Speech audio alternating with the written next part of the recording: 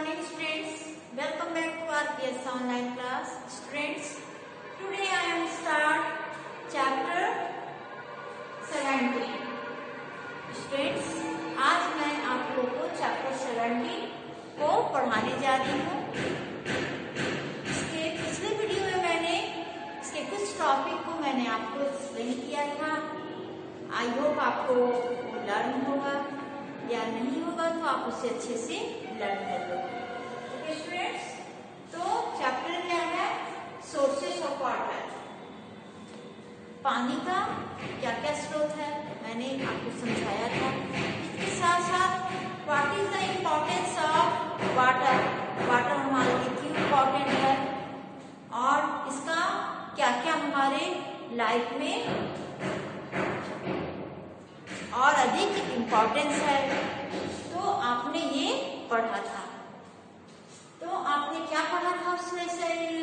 पिछले वीडियो में आपने पढ़ा था कि जितने भी वर्क हैं, हम जो भी काम करते हैं, वो सारा काम क्या चीज़ के माध्यम से होता है? वाटर के माध्यम से। चाहे आपके घर में कुकिंग का काम हो, आपकी मदर खाना बनाती हो, या आपका घर सफ़ाई होता है हाँ?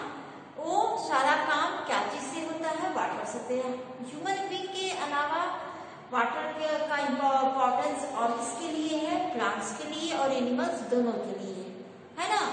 इसके अलावा आपने और क्या पढ़ा था? इसके अलावा आपने और पढ़ा था कि कौन कौन से जो वाटर के सोर्स हैं। है ना? कुछ सोर्सेस हैं, जैसे रिवर हुआ रेन हुआ क्या कहते हैं? रिवर पॉन्ड्स ये सब क्या है? नेचुरल रिसोर्सेस हैं। कुछ है जो हम खुद बनाते हैं man made resources man made resources में आपने क्या पढ़ा था? जैसे डैम हुआ, रिजर्वर हुआ कैनन हुआ, वो ये हमारे द्वारा बनाए मैन मेड वो थिंग्स है. ओके स्टूडेंट्स आज अब आपको क्या पढ़ना है, वो आप ध्यान से देखिए. ओके सबसे पहले आपको समझना है what is portable water portable water हमें किसे कहते हैं? The water which people drink should be free of germs and chemical portable water हम किसे कहते हैं? जो वाटर हम लोग पीते हैं। पीते हैं ना? तो हम लोग कि हम लोग को किस प्रकार के वाटर पीना चाहिए? वो जो जल फ्री हो जिसमें किसी प्रकार का केमिकल नहीं हो। उस टाइप का ही हम लोग को पानी पीना चाहिए। अगर अगर ये जल फ्री नहीं होगा और केमिकल से फ्री नहीं होगा तो हम जो पानी पिएँगे वो हमारे लिए हार्मफुल होगा। Okay this water be safe तो पोटेबल किसको कहेंगे कि कि उस टाइप के वाटर जो हम पीते हैं, जिसको जल फ्री बनाया जाता है पीने के लिए, जिसमें किसी प्रकार का केमिकल मिलावट नहीं रहता है, और वो वाटर हमारे लिए क्या है?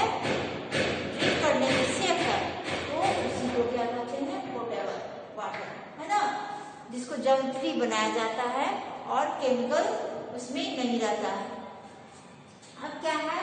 अब आपके घर में जो पानी आता है, वो पानी को किस प्रकार तैयार किया जाता है? प्लांट में तो वाटर प्यूरिफिकेशन इन प्लांट किस प्रकार प्यूरिफाई किया जाता है पानी को किसी भी प्लांट ओके क्योंकि आप देखते होंगे कि आपके घर में पाइप के द्वारा वो पानी आता है उसका भी एक समय होता है सवेरे में आता है और शाम में आपको ये किया जाता है दिया, दिया जाता है। तो वो पानी किस प्रकार प्यूरिफाई किया जाता है कैसे तैयार होता है वो आपको पढ़ना है। सबसे पहले सेंटिवेशन जिसको कहते हैं आसान है ना? सेंटिवेशन द फ़र्स्ट वाटर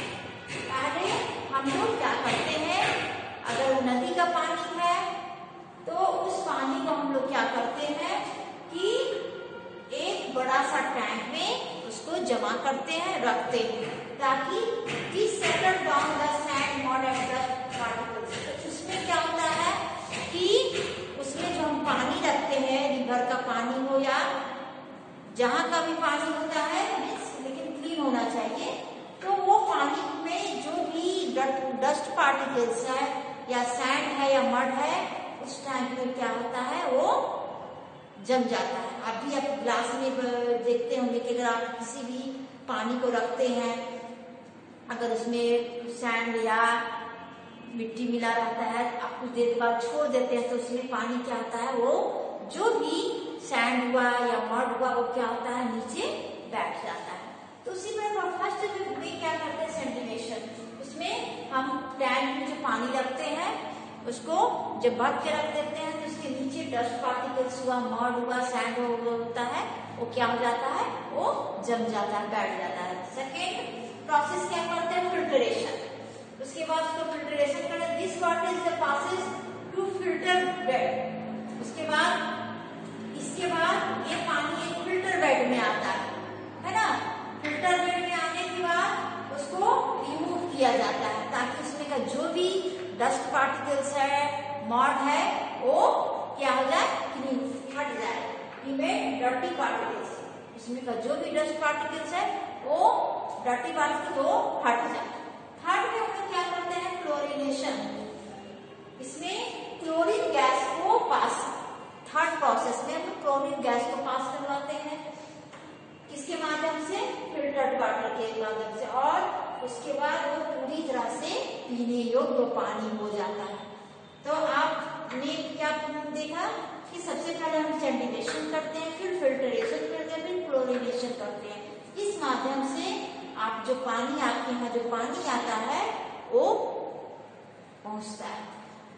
तो ये थ्री प्रोसेस है जिससे वाटर प्यूरिफिकेशन इन प्लांट में ये थ्री प्रोसेस किया जाता है। अब क्या है?